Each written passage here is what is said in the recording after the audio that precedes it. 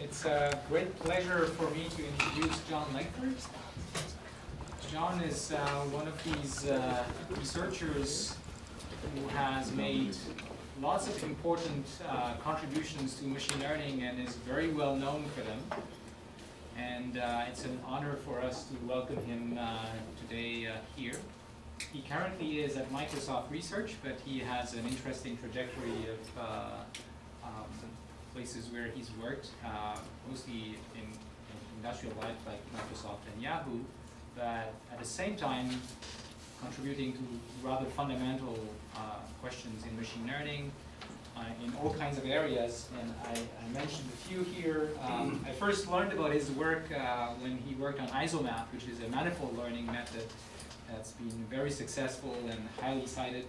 But he's, he's worked on a bunch of um, other um, areas of machine learning, including reinforcement learning, uh, bounds, uh, scaling machine learning, which is, I guess, what he's going to tell us about today, um, hashing representations, reductions, and so um, I'm, I'm really excited to hear what he's going to tell us about in this talk. So, John, here we go.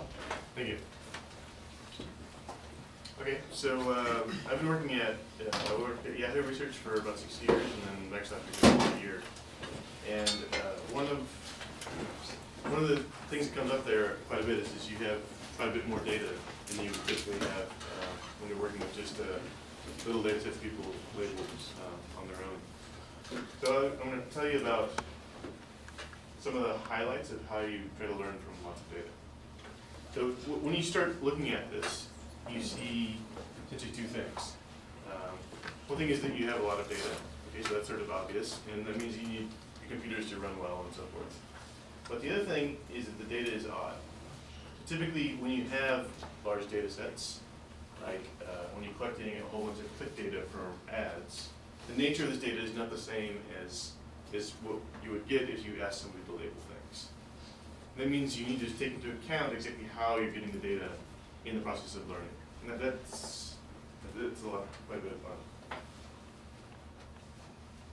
Okay, so these two things together are really required in order to succeed when you have a lot of data. You need to understand how the different data sources affect your, um, the, the quality of data that you have, and then of course you need to be able to actually do the learning. The first thing I want to talk about is, is large scale data. So when I was graduating from Caltech, in 97, uh, I was interviewing for a fellowship uh, for my PhD study. And uh, the, the interviewer said, what do you want to do? And I said, that I'd like to solve AI. And uh, he said, how? And I said, well, I'm going to do parallel learning algorithms, right? Um, and, and he said, no. It was more bracing than that. This is, this is really, I did not get the fellowship. Uh, said the only parallel machines are good for is computational wind tunnels. Uh, so that's, that was disappointing. What's even more disappointing is that he was right at the time. Getting parallel learning to work well um, is, is not that easy. Um, at, at the time, there were uh, no parallel learning algorithms, which kind of were provably superior to what you could get on a single machine. So that has changed. So this is a particular data set that I was playing with at Yahoo. There are 2.1 tera features. So a, tera, a feature here is a non-zero entry in your data matrix. Right? So this is maybe 20 terabytes or so um, in terms of the actual size of the data set. Uh, so this is a sparse data set. Um, have a bunch of features which involve the interaction of, this is an ad so it's interaction of the ad with the query. Um, and then you want to learn a good linear predictor, which just predicts the probability of click. So there are, you, you can measure the size in several different ways. You can say, look, there's 17 billion examples. Or you could say there's 16 million parameters. Uh, now some magic going on here, uh, but I won't really discuss that very much. Essentially, you use hashing to, to fix the number of parameters. That turns out to work very well. And then we have, of course, these big clusters. So we have uh, clusters with uh, thousands of machines, of which you can easily get a thousand machines to learn on at one time. So when you're trying to learn a good linear predictor, uh, question is how long does it take?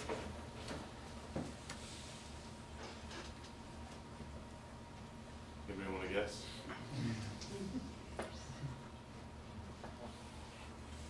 Two hours. Two hours. That, that's how long a grad student is willing to wait for an experiment. Otherwise you sample. When I started on this project, the data sets people were using were about a factor of ten smaller, and the amount of time people were willing to wait was about a factor of ten larger. But when I finished, it's seventy minutes. Um, So the interesting thing about this is that it's actually an answer to this guy. Because you can say, look, there's two point one tera features, and it takes seventy minutes, and then divide this by that, and it's five hundred megafeatures per second.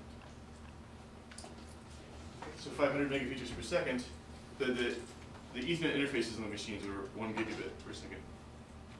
So the number of bits per feature is certainly larger than two. And that means that we're succeeding in a, in a real sense. There's, uh, this is faster than the IO bandwidth of any single machine in the computation. Um, So that means it's faster than all possible uh, single machine learning algorithms. It's no, no longer the case that it's just computational windows. So it's not, uh, plausibly, a feature is uh, four bytes, or something like that, if you compress it well. So it's, it's only clearing that hurdle by a factor of ten or so. Um, But, but this is, this is the first time when I've actually seen this, where you can actually take the time, the running time, and divide it by the data set size, and say, look, there's just no single machine item that will ever be invented in the future that can do the same thing. Anyway, that made me feel pretty good because, uh, you know, this is the kind of things you remember for a while. Okay, so I want to first tell you about how this works. The essential idea is to use uh, all. So who, who knows MPI here? Okay, so yeah, so M- MPI is a message passing interface. It's a uh, it's a library of communication primitives for parallel computation. Now, the thing which is tricky about MPI is that um, okay, so the thing that's tricky here is that this data is not uh, typically stored on an MPI style cluster. It's typically stored on a Hadoop cluster or some other big MapReduce cluster. So, um, starting about a decade ago, uh, people started creating these clusters which have uh, combined data and compute. You have lots of disks spread all over the cluster, and then you have MapReduce jobs you can execute on. So who understands MapReduce? Most people. Okay, so uh, for those who don't, um, when you're trying to do MapReduce, what happens is you divide your computation up into maps, which run on pieces of the data. They each emit a little bit of information, then you combine those with the reduce. Uh, and perhaps you do this multiple times in order to finish your computation. The nice thing about MapReduce is that it can be made robust.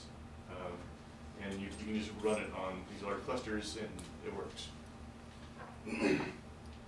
okay, so um,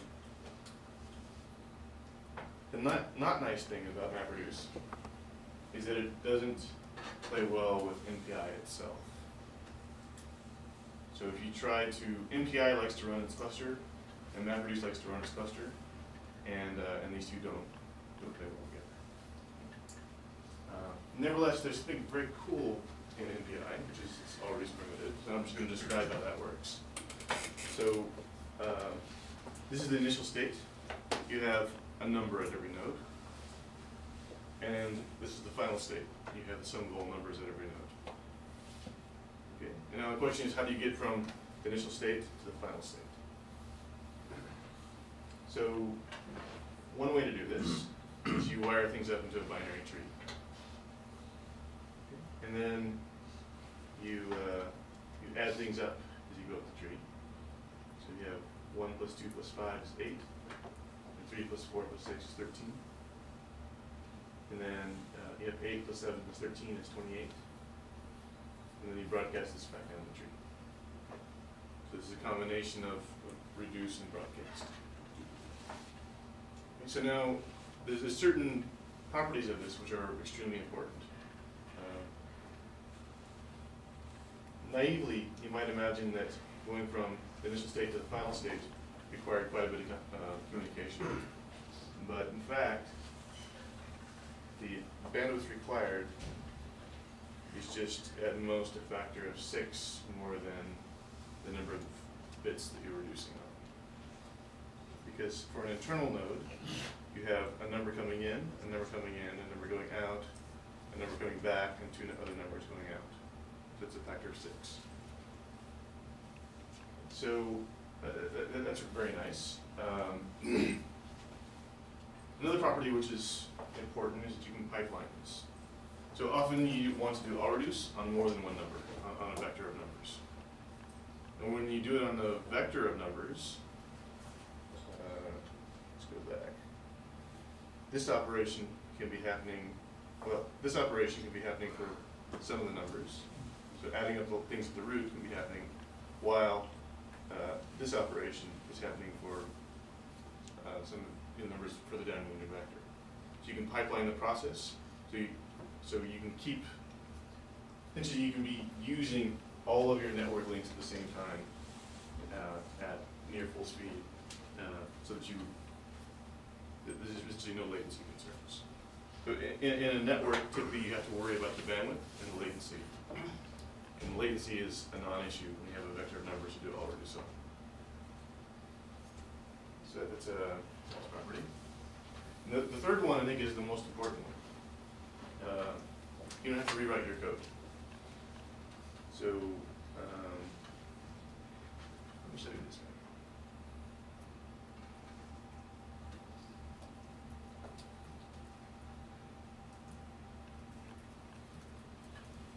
All the code that I'm talking about is open source. Um, uh, So the reduce function is in accumulate. And that is all of the impact on the code. This is, this is, this is code which is optimized. This is VW, this is an open source, um, project of mine. Uh, And this is the only place where you actually call all reduce in the code.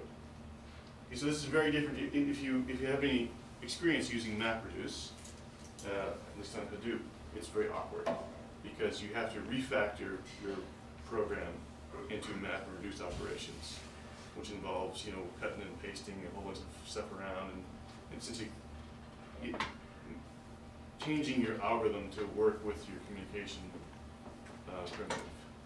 But here, you just, uh, when it's time to sync things up, you just call the all reduce and it runs. So that's, that's fantastic as far as getting things done. Okay, so, um, we coded this up, we tried at first to make things work, the MPI didn't work. Um, Then we, we made our own, it turned out to be very easy, it only took like a week. Um, And then, uh, then we optimized it to work in a Hadoop environment.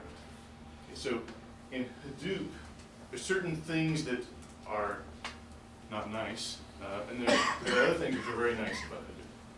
So one thing that Hadoop does, Hadoop is a a MapReduce infrastructure, is it moves your program to your data. So when your program is much smaller than your data, this is, this is a very nice operation. It does this in a way where you don't have to worry about exactly where the data is. So in order to launch VW, uh, to run this kind of uh, computation, you have essentially a map job, which moves VW, the code, to the data. Okay, so then another thing that happens is uh, Hadoop MapReduce is robust to failures. All reduce generally is not robust to failures. So once you create this communication infrastructure, if a node dies, then the computation dies and you have to start over. That's not so good, right? Um, now, in, in a real cluster, the, the failures typically happen at the beginning. The most common failure mode is a disk failure. So what that means is that if you can delay the initialization of your communication infrastructure until after you've passed the data once, uh, you can restart on a disk failure in the initial pass without failing the entire computation. So that, that's, that's, that's extremely helpful. Um, that, that, that gets rid of at least the first order of magnitude of failures. Um, So that, that, that's cool. Um, the last trick is speculative execution. So in MapReduce on Hadoop, if uh, you have a bunch of different map jobs, each of which is running on a piece of the data, and uh, you know sometimes these are very slow because maybe that map job has a bunch of other people, uh, other, other jobs on the same computer, which are each using the disk, and the disk is getting worn out and thrashing between the jobs badly. So what Hadoop can do is it can uh, say, uh, I'm going to run the same map job on the same data on a different machine because it stores the data and interprets it. So that's, that's nice. Uh, we can take advantage of the same effect. This is, this is quite important. If uh, we didn't take advantage of this, it would have been 50 megabytes per second rather than 500. Because if you have a thousand nodes, one of your nodes is going to be slow is quite high. So, uh, so this deals with sort of the slow node problem, um, which is pretty significant.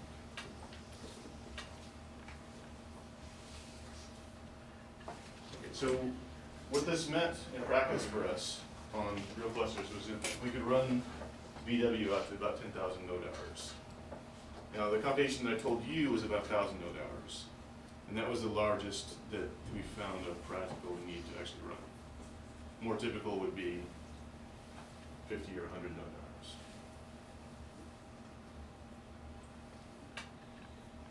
So other questions about this?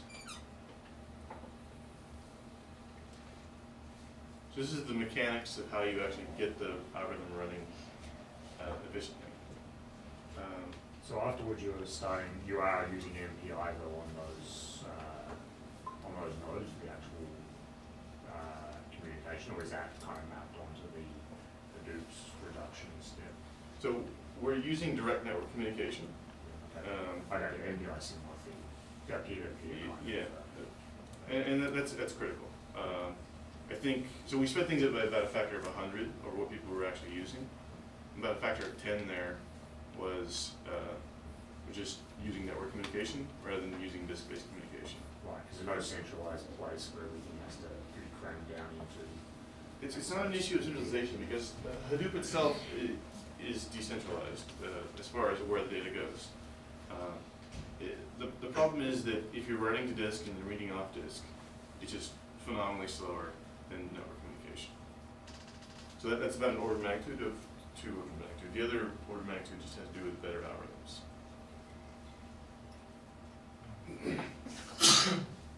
Yeah? How do you handle the all reduce with the uh, speculative uh, execution? You need to duplicate the communication?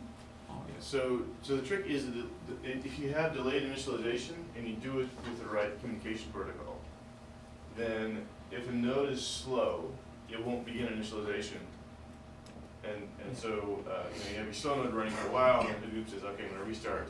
So the, the, the- you restart on the node, it's almost certainly faster, and then that one will be the one which initializes. And then this one will try to initialize at the end, but, uh, but the initialization will say, no, die, and it will just die.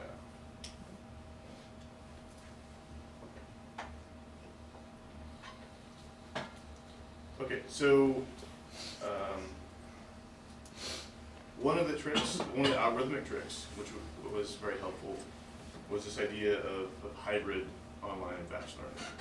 So within machine learning, just kind of, uh, just for, just purely for optimization purposes, there's, there's kind of two, uh, two approaches. One approach is sort of online learning, where you see an example and you do an update. And another approach is batch learning, where you go through all of your examples and then do an update. So in a parallel setting, you can of course do the parallel versions of this. So uh, you can run LBFGS, which is low memory BFGS. BFGS is the first letter of the four names of different authors, all of whom in nineteen seventy proposed the same algorithm. Uh, So, th- this is, this is a nice algorithm, which, um, the, the property of this algorithm is that it, it approximates the inverse Hessian directly. And if you, if you think about the Taylor approximation, if you're trying to get to the minimum of some function, you have the gradient, which is your first order, and then you have your inverse Hessian, which is, gives you the second order approximation. Right, so in general, you can't use the inverse Hessian because just representing it would kill you. We're, working on sixteen million parameters, so sixteen million squared would, would not work. Um, LBFGS approximates the inverse Hessian in a lower rank way directly. And that makes it, that means you don't have to worry about inversion, uh, and you don't have to worry about running out of memory, and so it, it's very helpful. Um, Okay, so LBFGS, uh, like all batch algorithms, is very slow initially. So for the first ten passes of the data, it does nothing useful. And then you can run this in parallel using all reduce on the gradients, uh, and it gets better and better and better, and eventually it becomes pretty good. Did you have a question? Yeah, when you're saying online here, are you literally meaning sequential, like each example, are you doing, are you doing batch, like mini batches? So what's happening here with online learning is uh, on each individual node, we're running through the data and, uh, and just doing local updates. And then at the end of the pass, we're averaging the data together. So I mean online learning with parameter averaging. Okay, so uh, online learning in the first pass is gonna be pretty useful. And then you average things, it keeps getting better and better and better and better and better and better and better. And it keeps getting better, but you know, it's not converging very quickly to the best. This, this is, it's kind of a weakness of online learning. Online learning can take a long time to converge, particularly when you have, so this is the splice type recognition data set. It's one of these data sets where you have a lot of covariant features. If you have covariant features, it becomes relatively important to have a second order method uh, to, to optimize well. All right, so, um, an obvious trick is you initialize with online learning, and then you switch to LBFGS. This obvious trick is super useful, because you're done after about twenty passes. So that, that's, it's great. So, uh, it works, it works better than, okay, so you could imagine just using LBFGS after ten passes of LBFGS. And even at pass thirty, so it's twenty more passes past ten, is not nearly as good as. Yeah, Excuse me, what's the objective? this is area under the precision recall curve. So this, every data set has its own particular objective. This is the one people typically use for this data set. Okay, so is point six or point five five good for this data set, or do you have? Uh, yeah, so we were point zero one better than any published result on, on this data set. Um, Not, not really significant, essentially we're doing the same as it's been done previously, but much faster.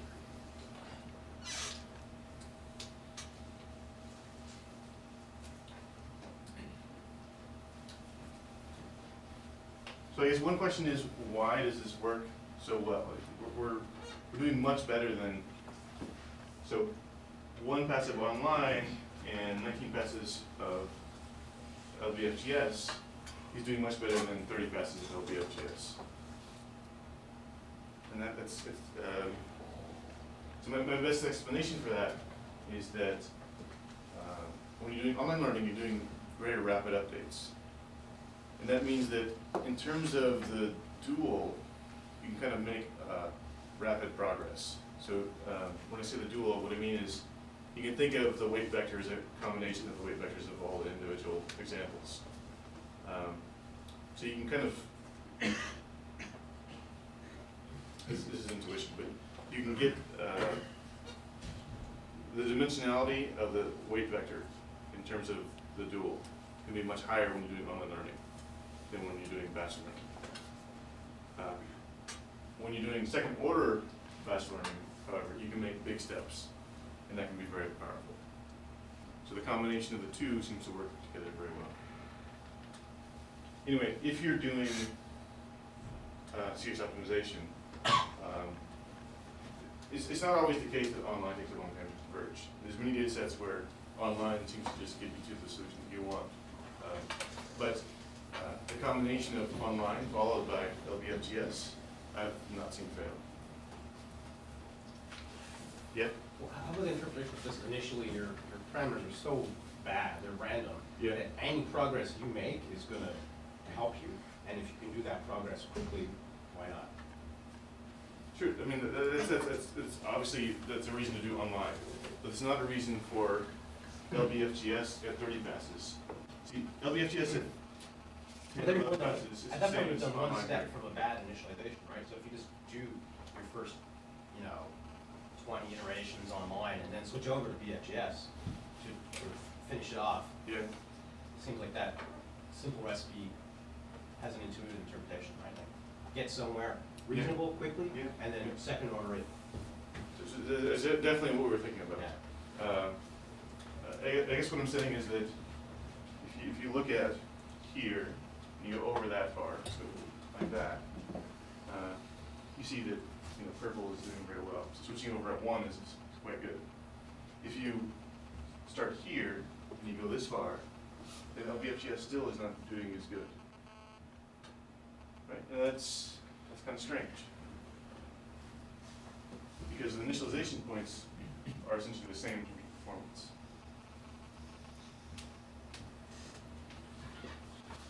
Is this, um, training performance or out of sample performance? It's out of sample. So could it be that, um, stochastic gradient online is finding sort of a, well, I guess this is a convex problem, right? Uh, Is it? no. It's not? The, the metric here is not convex anyways. Just area into the But what is optimizing is convex. Yes, that's true. So in, in the non-convex setting, online is, online is believed to have the advantage that it, it can find, well, escape poor local minima, but it could also escape poor regions even in the convex setting. Faster. Yeah. That might explain why LBFGS is kind of stuck for a long time before it escapes. Whereas online can escape very quickly. So I think, uh, just the fact that LBFGS takes eleven passes to do something useful just has to do with, uh, you know, batch algorithms just, th- there's a minimum number of steps to do anything useful here. And batch algorithms just take a long time to take a minimum number of steps.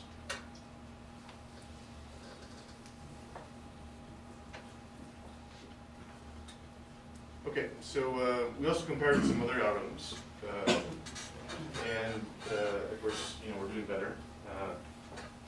This is Marty Zinkevich's approach, so here what happens is you do online learning on every node.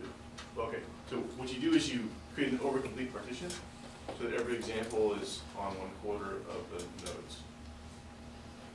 So it involves a lot of shuffling of data. And then you run online learning on each of the individual nodes, and then you average things at the end.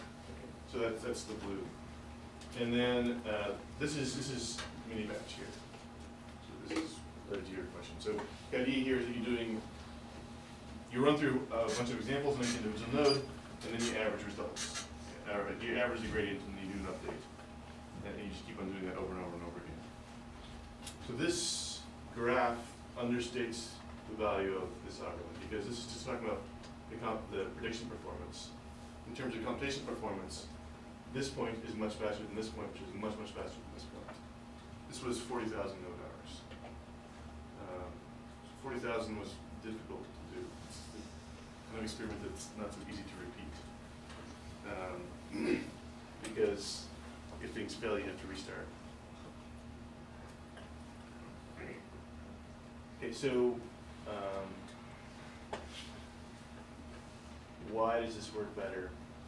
Well, we're working better than this approach because we're communicating during computation more. So we have more coherent optimization going on.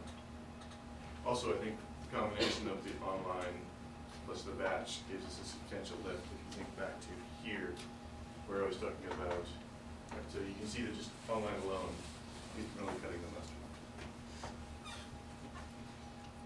And then, why is it better than here? Uh, so there's a lot of communication going on here. So there's a lot of synchronization, but mini batch alone, especially with the mini batch sizes that were required in order to make, to amortize the communication, um,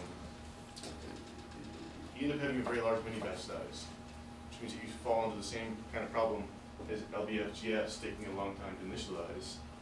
But it's worse than that because the mini batch approach um, wasn't second order, it was only first order.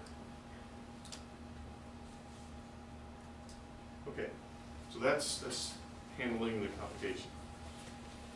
And now I want to talk about how the data itself is kind of off. Are there questions about the computation? The optimization?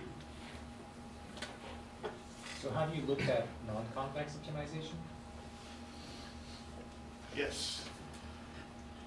So the same kind of, so when you're doing non-convex things, you can't do parameter averaging because it, it just takes you into crazy space. Did you try? Um, I went and visited Yann LeCun's lab, and I talked to, uh, Clement, Uh-huh.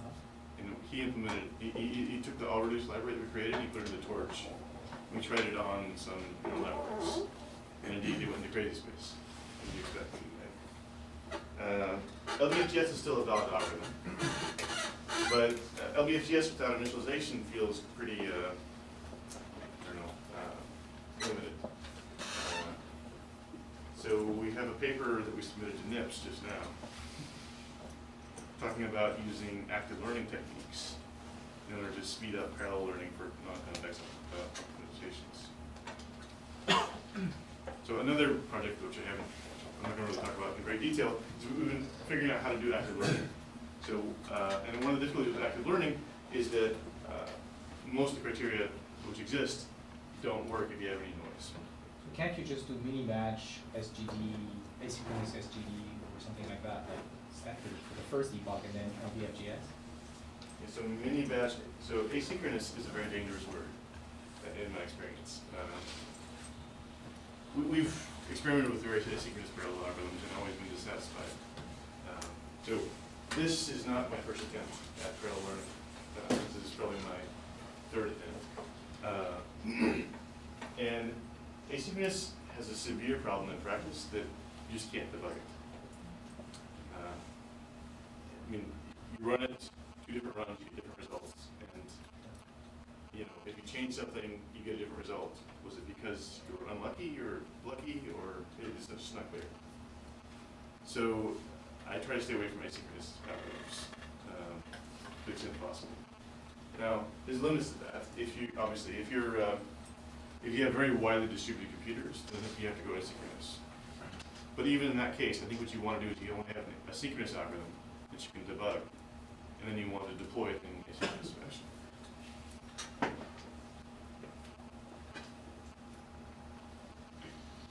I had debates about this before times. Um,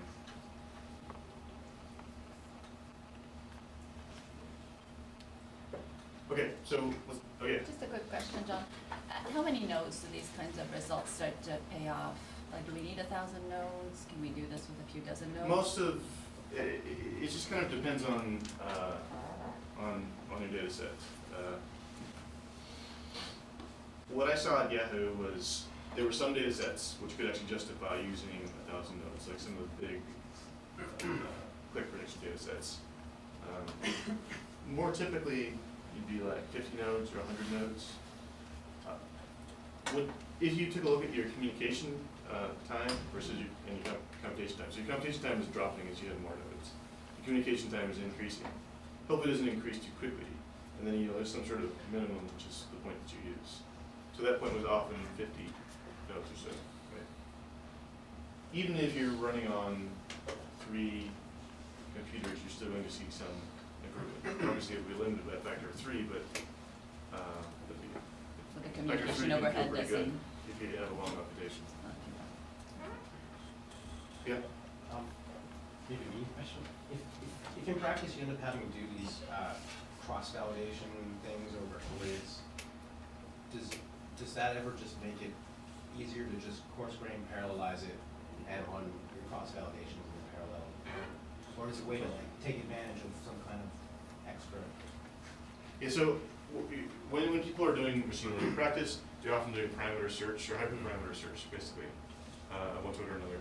And, uh, you know, a crude and simple way to use these big clusters is you just, you have a bunch of individual nodes, and each of them sucks in all the data, with a thing with its own parameter setting, and you just compare the, the results from different parameter settings. Uh, so that is, uh, I think if your data set is not too large, that's a very reasonable thing to do. Uh, and, and that works fine as far as your overall workflow. Uh, These data sets were large enough that you didn't really want to do that. Right, so if you suck twenty terabytes into a single machine, it's not gonna be happy. How about copying the data in the first place to all these machines, isn't that the same load? Uh, so I I think the idea is that you copy the data once into the system, and then you don't ever copy it again. So you, you, you pay the cost of moving the data once, and not, not, uh, every single time you do an experiment.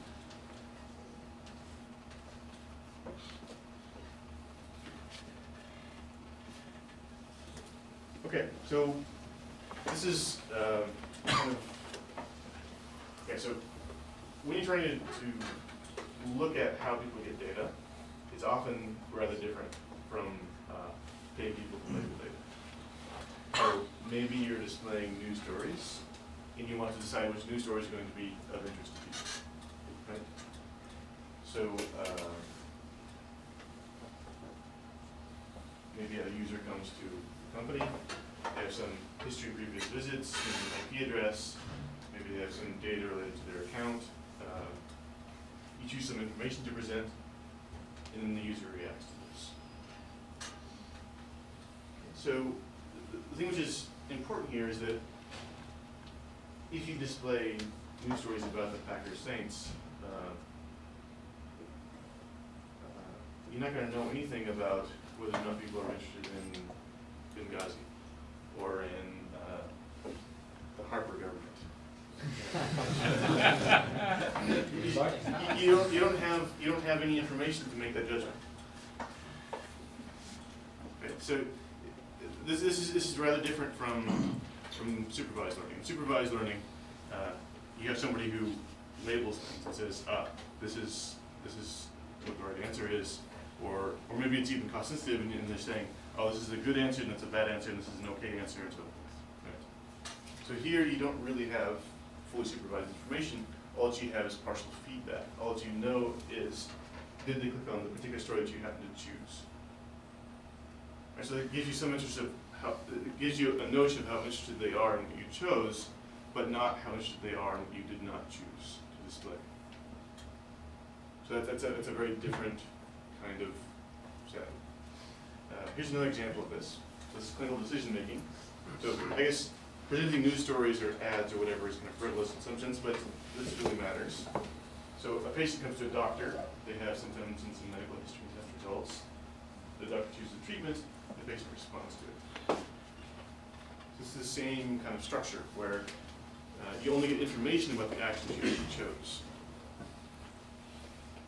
So typically you don't know what would have happened if they had given you a different treatment. And now you want a policy for choosing the best treatment. So this is, uh, I stopped taking the medicine because I prefer the original disease to the side effects. That one has potential and ethical side to it as well, in that what would allow you to learn the fastest may not be good for people who are taking the medicine too, which is interesting, interesting twist. Yeah, so there's, uh, there is just kind of an ethical problem there, um, but the standard, uh, for medical trials is in fact randomized trials. Now, the way, the particular way that they do the randomized trials turns out to not be optimal as far as, you know, minimizing the number of deaths. So, I guess, I, I think there's a lot of political issues and basically non-technical issues associated with exactly how trials are run. But, um, Or do they allow more deaths in a trial to reduce the number of deaths later on after, it, you know, comes to market, things like that? Okay, so what, what the, what the, what the mathematics suggests you should do is you, you should not regard, you, shouldn't think of things as just having a trial. You should, you should have some initial exploration, and then if you have encouraging results, you keep on exploring over more and more and more until, uh, you know, the new treatment just kind of takes over everything. So you don't have discrete trials, you have constant monitoring, and, uh, the amount of exploration that you're doing should be dependent upon the quality of the outcomes that you're observing. If you do that well, you should be able to do it substantially better than the current clinical, uh, clinical trial system.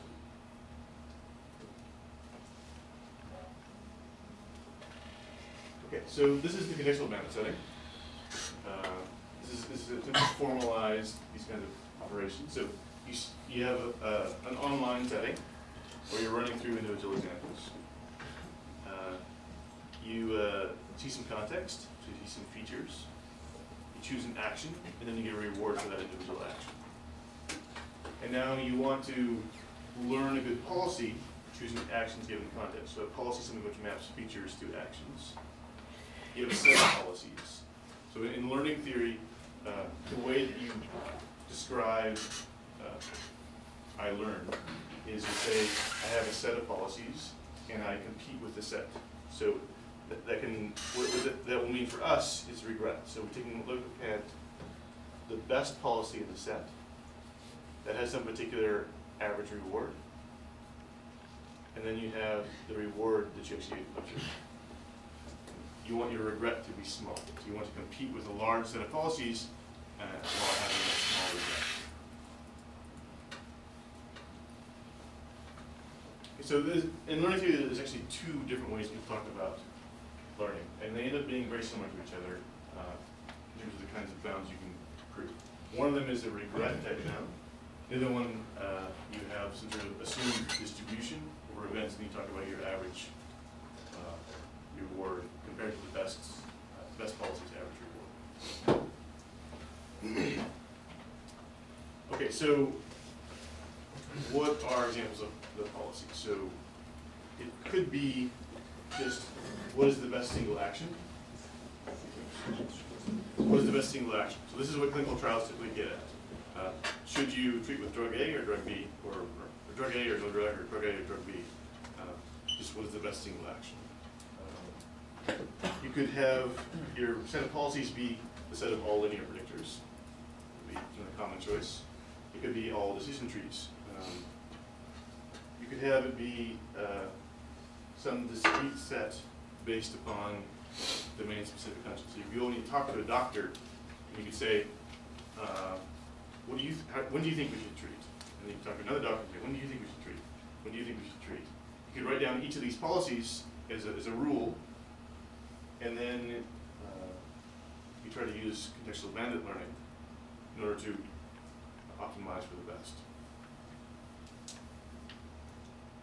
Okay, so in machine learning, so there's kind of a, a tension between machine learning and statistics. And, and one of the core reasons why there's a tension is because um, statisticians often like to do math and say, uh, you know, this is the right approach to doing things.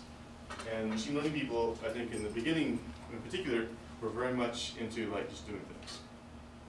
So like, uh, so statistician would say, oh no, you need to write down your assumptions and, uh, and uh, you know, understand what the right thing to do is given the assumptions. And the machine learning person would be just like, no, I just, just ran the algorithm and it worked. Uh, see, um, you can't do that here. You actually have to understand the statistics of what's going on. You, you can't just follow your nose in the contextual bandit setting. You- You have to explore to succeed. You have to understand how to incorporate the exploration information properly in order to, succeed. critical. Um, So thinking back, you, you just can't determine whether or not you should be presenting a news article about um, Quebec uh, versus a news article about some sports team, if you only display sports teams. There's no, the information is not there.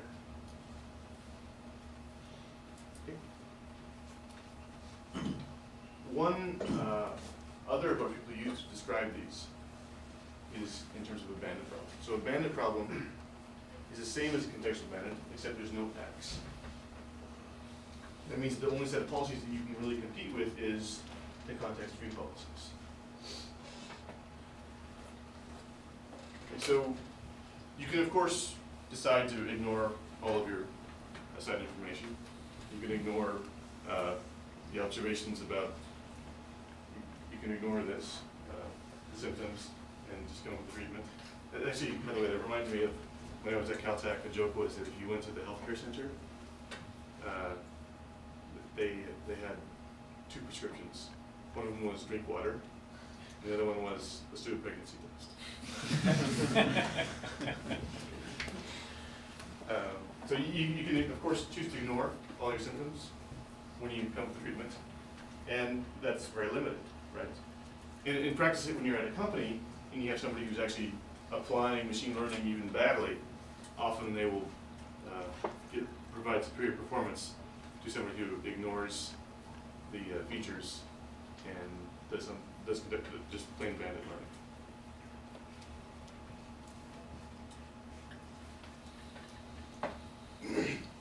Okay, so generalization across X requires to succeed for these problems.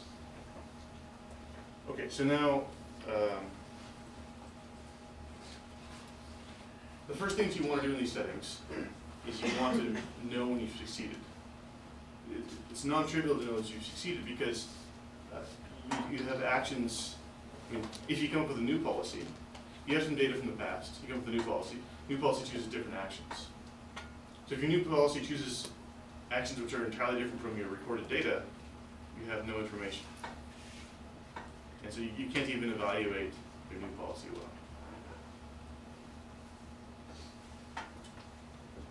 So the question is, how do we, how do we create a system for evaluating policies?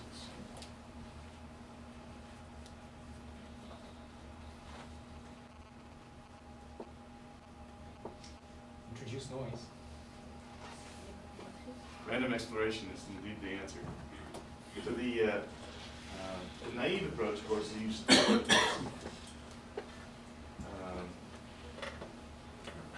So if you randomly explore with actions, you're going to have features, action, and reward, and implicitly we're, we're uniform random over the different actions. Uh, So now, um, it's kind of a tricky thing here. So when you're exploring randomly, if you have a probability of the action, then you actually do want to record that and use it. But if you don't have a probability, there's often a trick, which is you can estimate the probabilities directly. This is essentially multi-class probability prediction. right? You can estimate the probability of the action directly. You can also build an estimator of the reward directly. So one of the uh, simpler approaches people try to use is just build an estimator given the features in the action, what is the reward? Uh, and that, that, that kind of works, but you better have exploration data or else it's not going to work. Uh, and it's really, you can do something even better. So you can combine the p hat and the r hat to create an estimator of the value of a policy. So a policy number is something maps features to actions.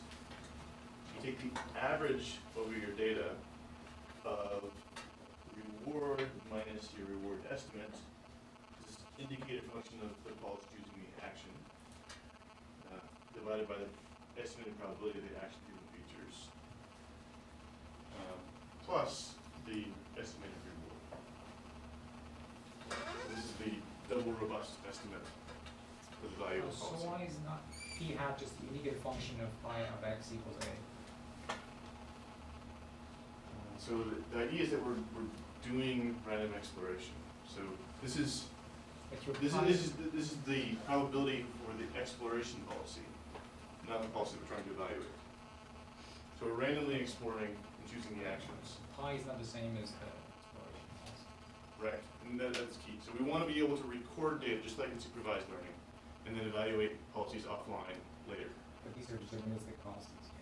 This pi could be deterministic. You, you can also, if it happens to be randomized, and you make this be the probability that is actually A. Oh, and you need to adjust things here too. Take the expectation, respect to the policy of the reward.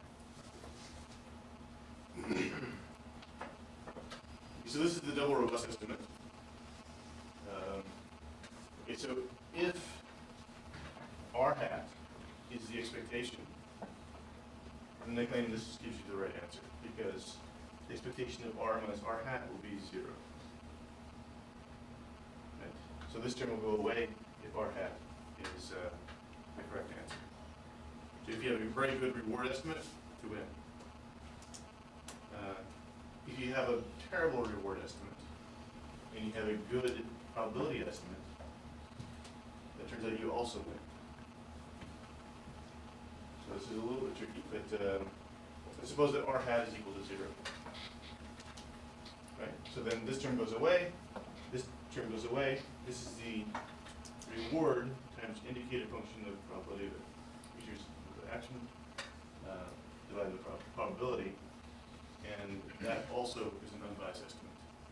In any combination, so, so you have kind of two ways to estimate that are combined here. So if you err, so if your reward estimate differs from your expectation, and your probability estimate differs from the truth, you can prove a theorem which says that the error in your estimate is bounded by big delta times little delta.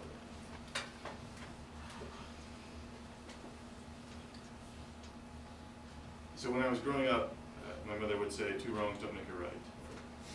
Um, But here you have two wrongs, which because they're less than one, at least make a less wrong. Right?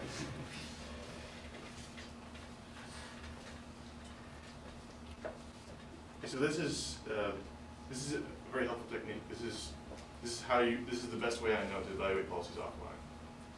Uh, And empirically, it works quite well, but I also wanted to discuss the exploration uh, for just a few minutes.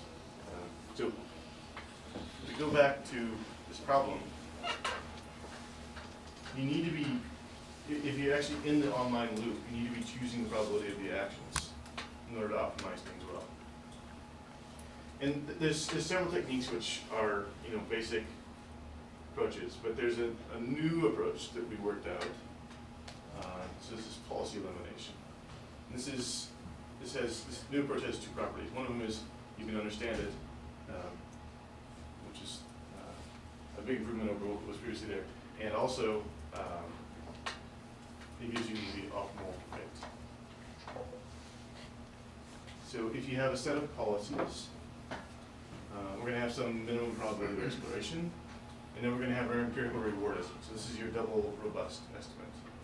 So when you have random actions, you can, you can get estimate the value of the policy. So at each time step, you choose a distribution over your remaining policies, such that for every remaining policy, the expected variance of your value estimate is small. So let's go back here.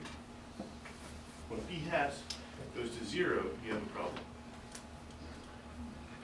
Your, variance is going to blow up, and that- that's no good. So the tricky thing in choosing your exploration distribution well you need to make sure that your probabilities don't get too small. Um, So you choose the distribution over your policies carefully. You observe your features, you draw, uh, okay, so you you project the distribution on policies into be a distribution on actions. So, so if you draw a random policy and you evaluate it against the features, you get an action. So a distribution on policies induces a distribution on actions. And then you, you draw your action, you observe your reward, and then uh, you can use bounds to, uh, to reduce the set of policies over time. So that's only reducing very slowly that set of policies. So it depends on what you mean by very slowly. So, um, what you can prove is that for all policies, for all distributions, uh, let's imagine the world is IID is expect some distribution generating the data. With high probability, expect to regret the scourge of k log number cult. So if we're doing supervised learning, there would be no dependence on k. K is the number of actions.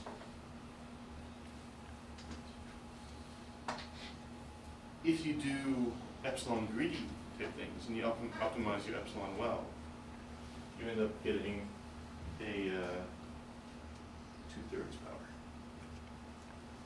So if you have a million events, the amount of exploration required for this approach is a factor of ten less than for epsilon greedy.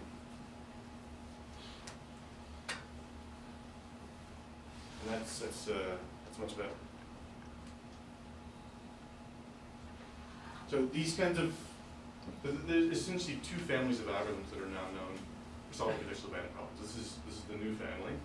Uh, there's an older one called EXP4. Anybody familiar with EXP4? Joel's, Joel knows it, but okay. Um, that one is kind of more complex. Um, That's a, for finite dimensional set of policies, I mean, for a finite size set of policies. yeah, If it's parametric, you can get a VC dimension like result if you want.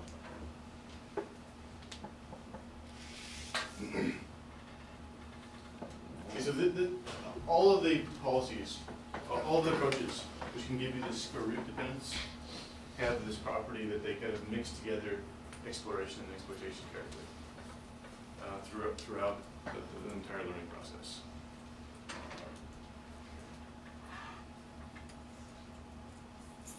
So one problem with this algorithm is that uh, it's computationally slow because we're enumerating policies and checking things. And that, of course, doesn't really work. Yes? Just a question of the, like, the- setting here with the Yeah. different actions, and how would you compare that to like an um, econometric approach with uh, like a random utility discrete choice framework? Could you relate it to that literature, what? I, I think a econometric approach isn't, uh, I don't understand what that means well enough to answer. Uh, what I can tell you is that um, we use these kinds of algorithms for things like setting the reserve price in auctions, in in keyword auctions. And, and this was the approach which worked well. Okay, so, uh, a disadvantage of this is it's slow. It turns out there's a way to fix that, at least in theory. So if you have a uh, optimization work, so what I mean by that is, essentially a supervised learning algorithm that can run the same policy set. Turns out that you can employ the ellipsoid algorithm uh, to get something which is poly TK log policies computation. This, this is kind of amazing because this is, it's one of the rare times in my life when uh, do something that was order high and made a lot So it's, a, it's an exponential reduction in the computation required. Now, who, who knows ellipsoid? All right, so anybody who knows ellipsoid knows that this doesn't actually work. because ellipsoid is, it's, it's one of these theoretical hammers that lets you say, ah, oh, it's polynomial time. But the quality is about 12. Okay, so I think I'm, I'm about done, uh, over in fact. Um, Making the contextual bandit learning really efficient, not just kind of theoretically efficient, I think is one of the main challenges which remains.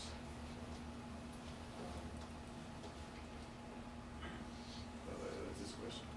And then there's also the more complex algorithms, the nonlinear algorithms in a parallel setting, which I think are, is, is a substantial challenge. Um, So those are two of the things that I'm working on right now. Okay, other questions?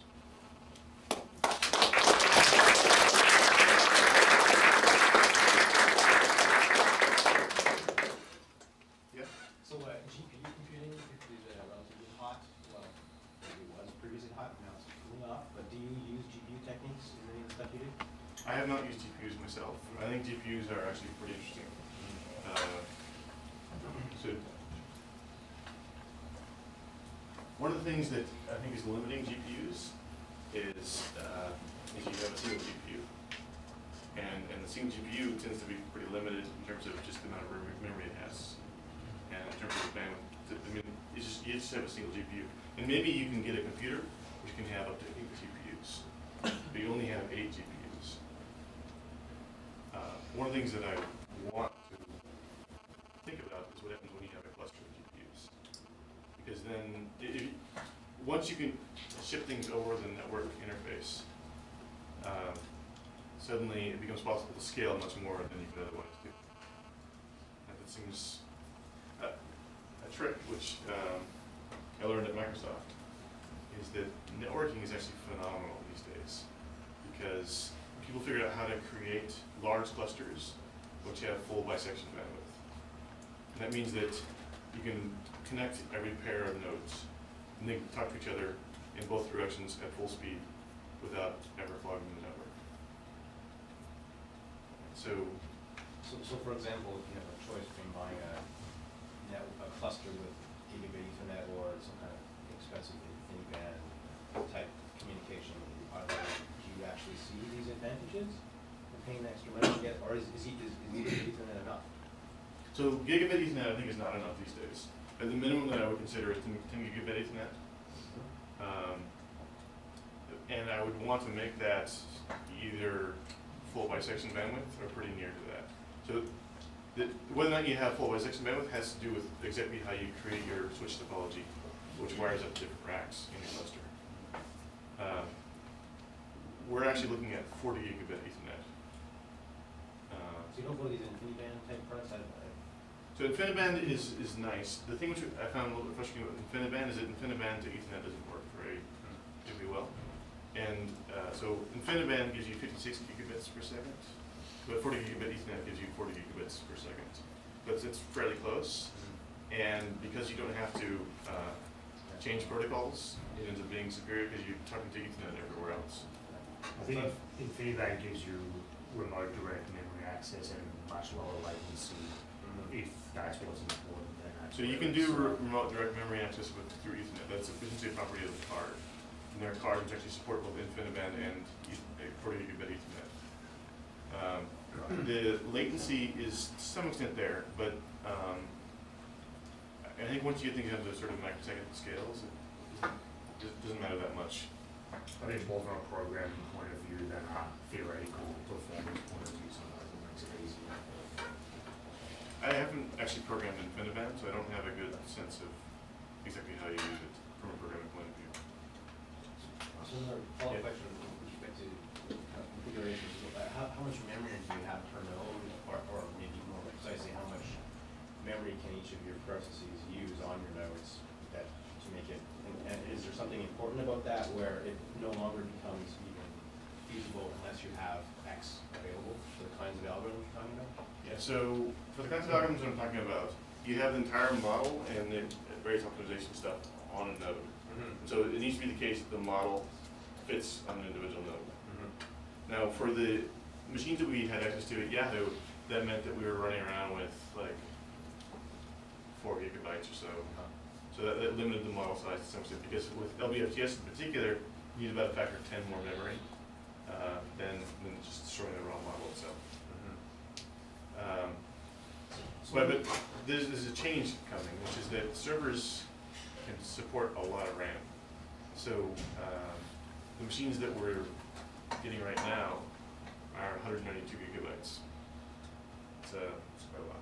Yeah, this, but it seems like this may have some dramatic, maybe direct or subtle implications on the algorithm design with respect to how much you're holding in memory, uh, in these experiments versus what you might do in the future, Yeah.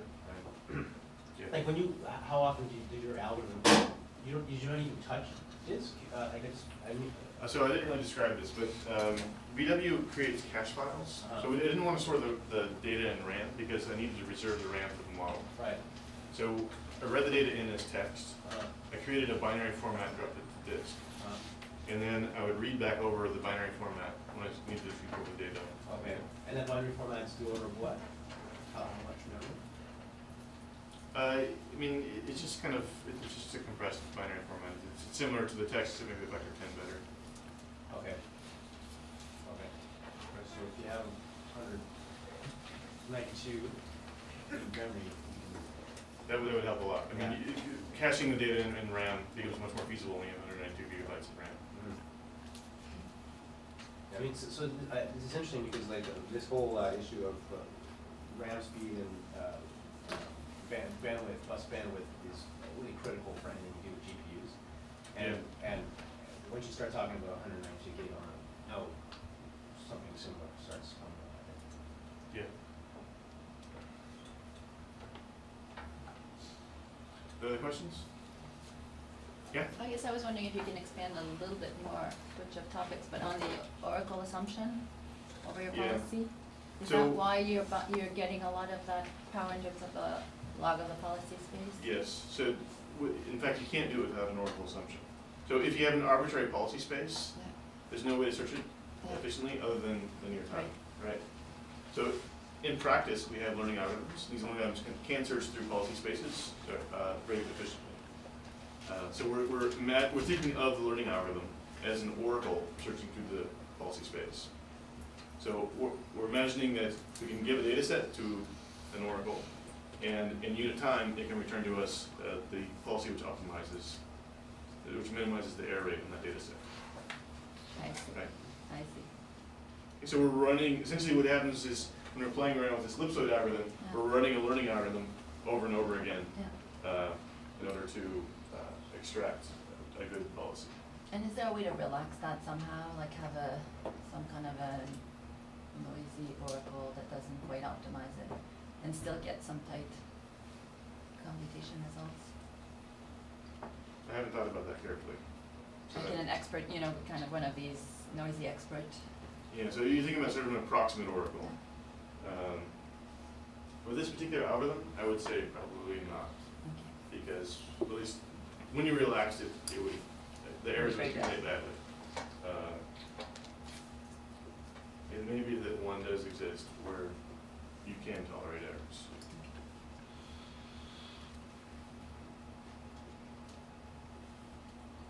All right, thank you.